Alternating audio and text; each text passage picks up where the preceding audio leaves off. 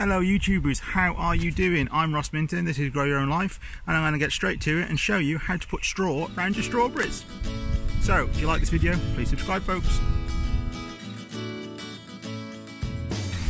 So here's my strawberry bed. As you can see, we have strawberries growing, uh, coming along quite well actually. Got a few weeds I need to pull out, but that's no problem.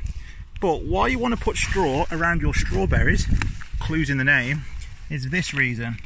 If they sit on the ground like that and like this one here they will rot. So they ideally need to be raised raised up off the ground and the best thing to do that is straw hence strawberries. Uh, in the wild the wild strawberries would grow in forests and they'd grow on the leaf litter. So they'd have pine needles and leaves and other things around them and the strawberries would grow up and the strawberries would sit on top of the leaf litter. Obviously when you cultivate them yourself you have taken that nature element out so you need to put it back in. So that's why I've got newspaper and I've got straw and I'll show you what I'm going to do. So firstly, as you can see, I have popped down some newspaper. Reason I've done that is twofold.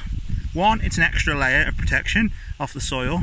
Secondly, it stops the light getting to any weed seeds.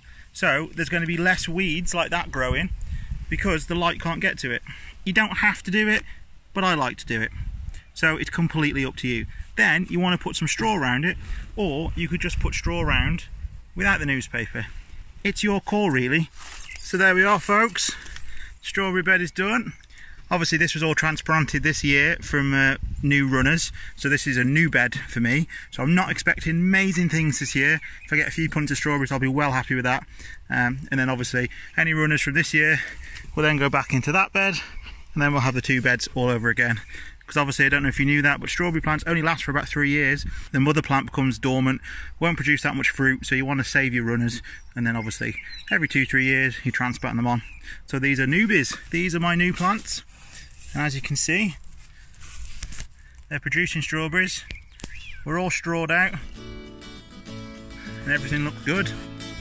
Fingers crossed for a good crop. Take care, folks. Speak soon.